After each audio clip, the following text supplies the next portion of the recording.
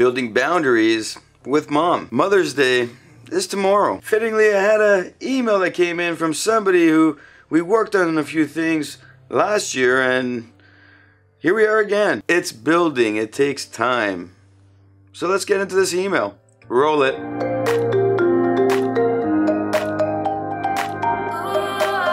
Welcome back to another video where today we're talking about these boundaries and you know, I like boundaries. They're good. They're healthy. In this video, I, just wanted to touch base on how we look at things and how we should be striving to look at things with boundaries. This comes from an email from somebody who we worked on growth with uh, the relationship they had with their mother last year. And they found themselves coming up to an impasse on everything because life situation occurred again and all of a sudden they went back and rewinded to where they were before all the progress and the growth was made. Being that it's Mother's Day, that emotion is heightened, specifically with this email in this moment in time, she's pregnant too, and she's kind of like feeling that motherly moment of Mother's Day, and she wants to make sure things start moving in the right direction. So if this is your first time here, hit a subscribe and hit a like if you like the video and if you want to get a daily motivational thought that will get you thinking in the right direction. Fittingly, whenever we have Mother's Day, Father's Day, I get a lot of emails about those relationships and what has occurred in the past and how to, you know, fix them or let them be. It's always a problematic scenario and it comes back to the fundamentals of regular relationships. So this email comes from somebody who was in a bad situation with their mom. The relationship wasn't strong enough and they really wanted to have a strong relationship, but their life situations weren't. Uh, how do we say, uh, they had picked the wrong things to do with their lives and the mom never agreed with it. Naturally, after the big fights, the mom and the daughter finally pulled apart and they weren't talking for a long, long time. Fast forward, as things were starting to build and the relationship started to grow again, new situations started to arise and they went right back to where they started. And this is a common thing that we deal with. It's uh, I think everybody goes through it. You you know your parents are there for you and they always need to speak their mind. They want the best for you. The communication doesn't come across in the best way. Social and cultural norms take into effect and the relationships aren't the way they should be. In fact, until you get older, you don't really get that strong relationship you once had with your parents when you were younger. And this is really because young people start to grow and they see the world a little bit different depending on what the environment is giving, what society is showing, and they want to find their own way. They want to grow their own values. They want to see the world as they see it, not as their parents say they should see it. Here's the email. Hi, Nikos. We had a long chat regarding my mom and my relationship last year. You were smart to say that I should build the relationship again.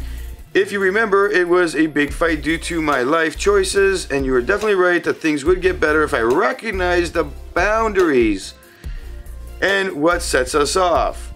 Fast forward, it has been three months, and we got back into it again now that I'm pregnant. She got it, she got two in my face all the time. I've tried, but I feel I keep facing a dead end. I don't want to pull away, but I'm frustrated. What else can I do?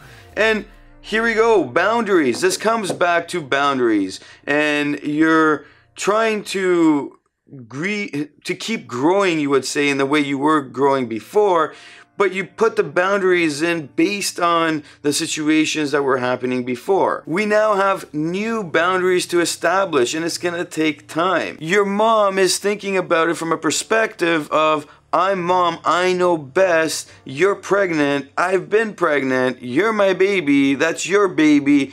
I'm gonna make sure you got everything you need and you kind of want to go your route. These boundaries will help you and you just need to go back to what we worked on and start restructuring everything so that those boundaries are there. If you can recall, we talked about the triggers and realizing what really sets you off. We talked about how much time you should be spending at the beginning and how that time should grow to that moment where you realize, okay, this is enough time with mom. And of course, these emotions that you have are gonna change. The emotions are changing drastically because you're pregnant. Hormones are totally different than what you've experienced before. Now, I'm a man and I will never experience this, but when we have these conversations with women that are going through these life changes, it's all about recognizing the changes, understanding how we're gonna adapt to these changes, and make sure that we're doing the things that are best for us. If you believe that stepping back and not carrying forward with the growth with your mom, then maybe it's the best thing. However, being that you have experienced all this growth and it's something that you really want and I see it, the goal now is to back up again, look at all these changes that are occurring, really focus on what it is